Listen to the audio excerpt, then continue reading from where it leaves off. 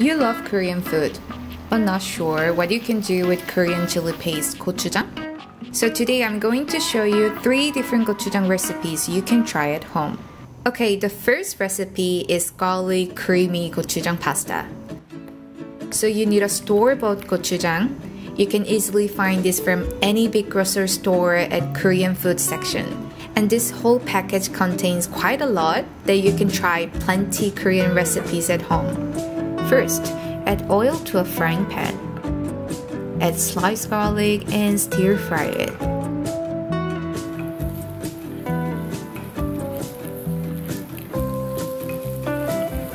Then I added my bacons and stir fry for 1 to 2 minutes.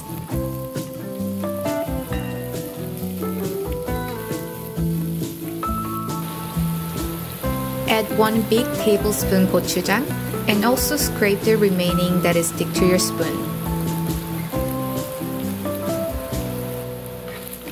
And mix to season gochujang flavor all over to garlic and bacon.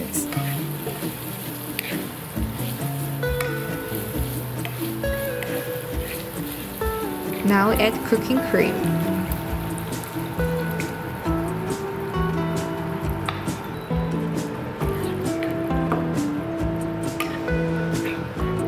Boil to thicken the gochujang cream sauce.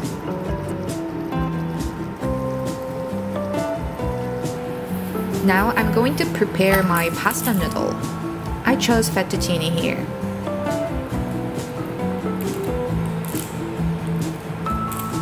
Once the noodle is nicely cooked, add into our savory creamy gochujang sauce and mix well together.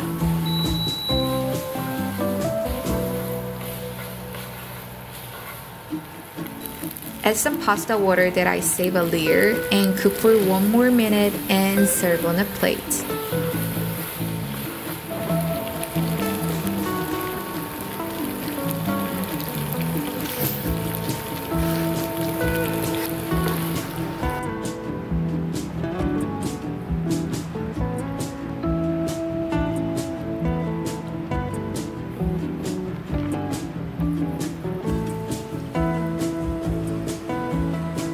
Here is my garlic creamy gochujang pasta.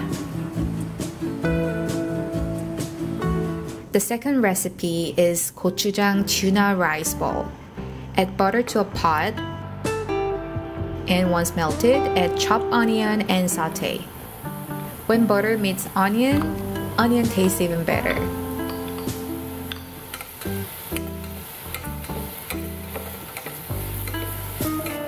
Add 1 tablespoon soy sauce.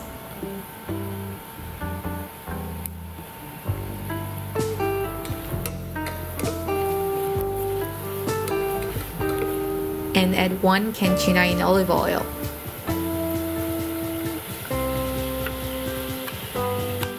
Add 1 tablespoon gochujang and mix well.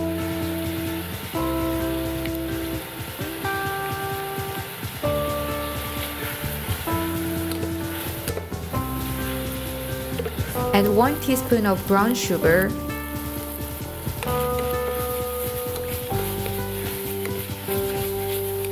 some chili powder or flakes for extra kick.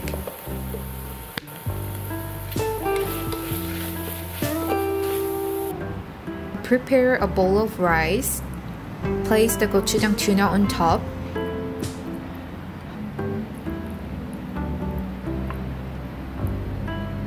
In a fried egg, sprinkle some sesame seed and seaweed flakes.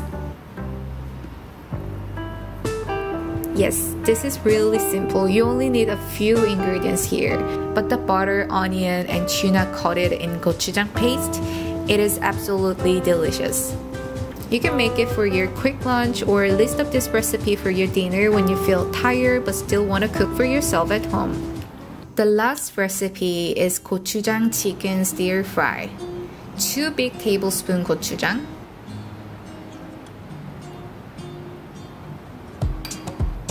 About 1 tablespoon soy sauce.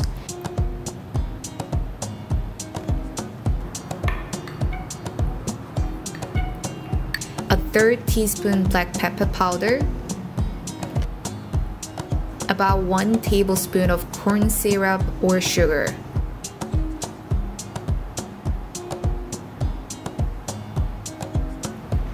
Two tablespoon Korean cooking wine.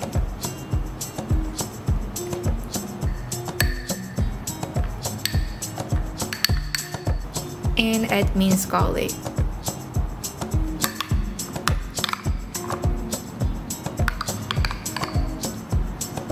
Now prepare a deep frying pan or a wok. Place roughly diced onion on the bottom and layer with chicken flats.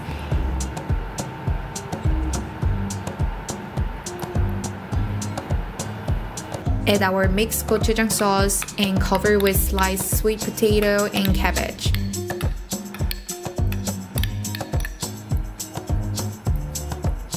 This gochujang chicken stir fry is similar to dakgalbi, which is the popular Korean spicy chicken stir fry dish. But dakgalbi, you need Korean perilla leaves and a few more Korean sauces.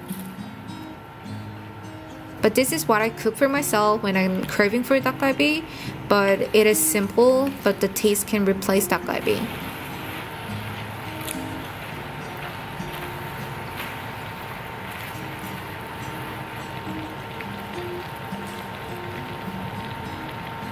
I'm lazy to sanitize my kitchen cutting board after cutting my chicken pieces, so I'm just gonna use my scissor to uh, cut my chicken flats into bite-sized pieces.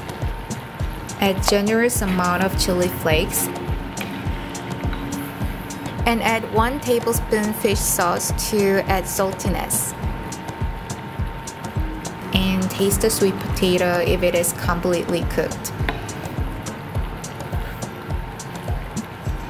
Finish up with chopped spring onion.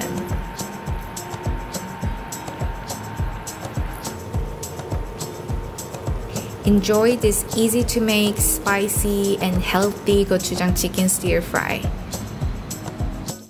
Thank you for watching. I hope you all can try these recipes at home.